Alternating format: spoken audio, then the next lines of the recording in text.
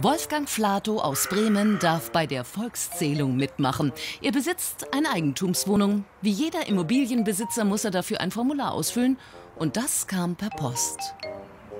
Da waren sechs verschiedene Formulare drin und keine Hausnummer passte zu meiner Wohnung.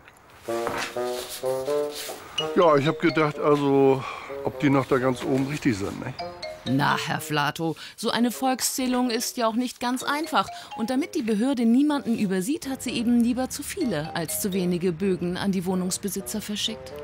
Ich habe hier eine Eigentumswohnung und habe diese Zählbögen vom Statistischen Landesamt zugeschickt gekriegt und äh, stellte erstaunt fest, dass ein Zentimeter dicker Stapel gewesen ist.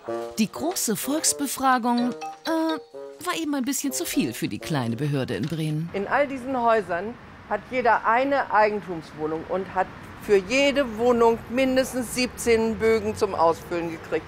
Da genau das Gleiche. Was soll ich damit? Dieser Mist hier auf Deutsch gesagt, der ärgert mich dermaßen.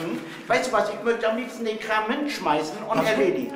Das ist der Schildbürgerstreich schlechthin. Na, na, na, die Behörde hat doch eigentlich alles richtig gemacht. Wir sind hier nicht äh, falsch mit den, mit, mit den Daten umgegangen. Wir haben die Daten gut im, im Griff, wir haben das Verfahren im Überblick.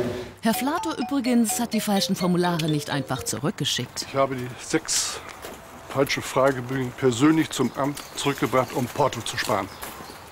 Aber Herr Flato, das haben Sie sich aber ein bisschen einfach gemacht. Ich wollte die falschen Fragebögen hier abgeben. Mir wurde aber gesagt, dass ich die hier auszufüllen hätte. Sonst würde es eine Strafe nach sich ziehen. Und deshalb hat er die falschen Fragebögen alle ordnungsgemäß ausgefüllt. Nur den richtigen, den gab es immer noch nicht. Ich wollte den richtigen Fragebogen für meine Wohnung mitnehmen. Mir wurde aber gesagt, der wird zugeschickt. Wir haben die Daten gut im, im Griff, wir haben das Verfahren im Überblick. Herr Flato hat den Überblick leider etwas verloren. Und der richtige Fragebogen ist immer noch nicht da.